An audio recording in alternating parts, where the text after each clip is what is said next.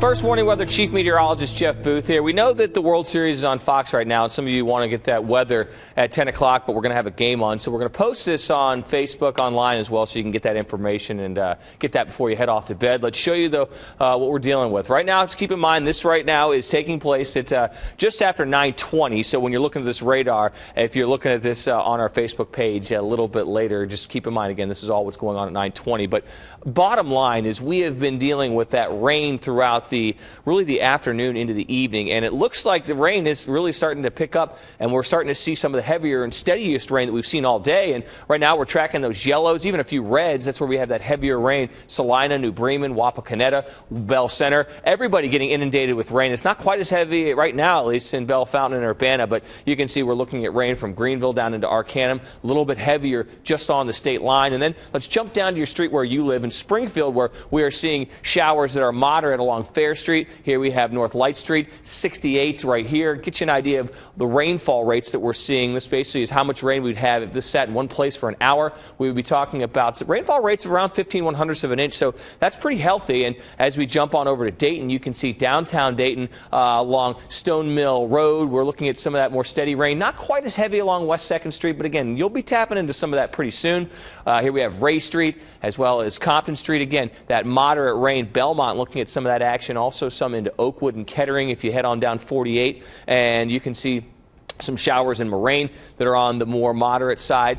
We'll jump on over into Centerville and Bellbrook where the rain is a little bit lighter, but again, we will be kind of in and out of some steady to heavy rain at times as we head through the evening. Here we have 675 right here. You can see tracking that rain. And then some more rain as well out through parts of Butler, Warren, and Clinton counties. Springboro about to get hit with some of that more moderate rain as well. And as we zoom out and we put our future radar into the motion uh, over the next two hours, we're going to watch this rain continue to move through here. Let's show you what's going on in the bigger picture picture because look at this. This is a system that stretches basically from the heart of Ohio, if not even northern Ohio, all the way down to the Gulf states, dragging up that moisture. So very expansive, and we're going to be dealing with several hours of rain, mainly through the overnight hours into the first half of your Wednesday. But even after the heaviest rain clears, it does look like we will be talking about some showers that will kind of linger on into the afternoon on Wednesday, maybe even a rumble of thunder.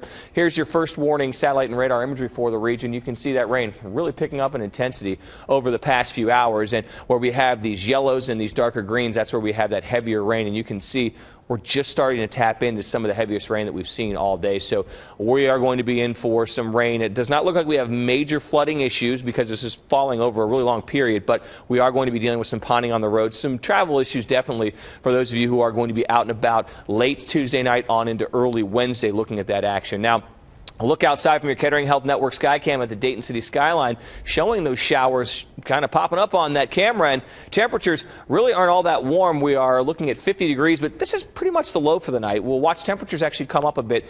Notice those winds have started to shift to the east southeast. That'll start pumping in some slightly warmer air, and it does look like we will watch temperatures rise a little bit as we head into the overnight hours. So let's walk you through this hour by hour. You can see midnight Wednesday night, looking at a fair bit of rain. Again, still tracking some of that heavy rain rain at times, and we're going to be in and out of the heavy rain throughout the evening. And we're going to stop the clock here at 7, getting ready to drive into work. We still have some moderate to heavy rain in some spots. So, again, some travel issues will be out there if you're doing anything late on Tuesday night or if you're leaving for work early on Wednesday. In fact, it really doesn't look like this starts to pull out of here until sometime through Wednesday morning, if not even the early afternoon. Notice so temperatures coming up a bit. We are looking at the upper 50s by lunchtime into the afternoon. We keep the clouds around, but notice a couple of showers will be possible. We'll stop the clock at 6, though, low to mid 60s. And all said and done, again, we'll still have a couple of showers around by 6 o'clock, but the heaviest rain looking like all said and done as we kind of look at those rainfall totals of forecast, anywhere from around inch to two inches across the area. But I do think there will be a few spots that are looking at a little bit more, especially in the south and the southeast. And really, the heart of the Miami Valley, I think, kind of falls into that inch and a half to just over two inch swath, at least the heart of the area, not quite as much up in the far northwest. But you can see very impressive rainfall totals. And again, the good news news is we need this, but it's also falling over a pretty long period of time. So it does not look like major flooding issues will be out there, and we, we need the rain. Again, we're at a deficit for the month. Looks like our deficit's going to be all but erased by the end of the day on Wednesday. Again, a couple of showers linger, but then things finally dry out through the overnight hours into Thursday. We cool off considerably. We'll even get some sunshine on Thursday, and we are looking at kind of a breezy one and a much cooler day on Thursday. But 51 is the low tonight. Again, temperatures will be coming up as we head through the overnight. It's going to be breezy and nasty, though. Wind gusts easily up to 30 miles an hour. Heavy rain at times.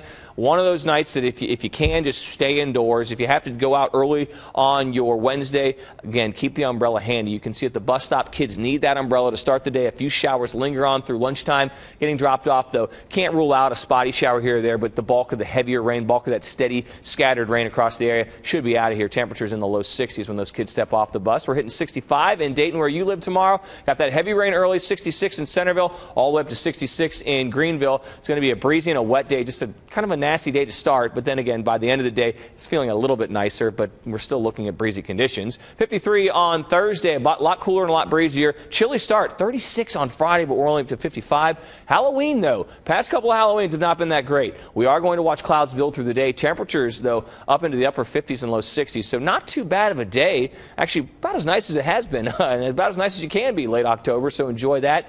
And then we got one of the best days of the year. We're falling back Sunday morning. Daylight saving time comes to an end. Temperatures climb into the low 60s. We're back in the upper 60s on Monday with a chance for a few of those lingering showers. And then by Tuesday, looks great, a high of 69.